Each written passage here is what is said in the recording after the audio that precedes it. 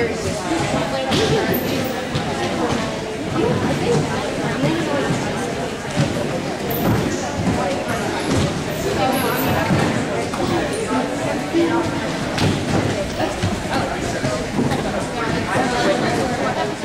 up.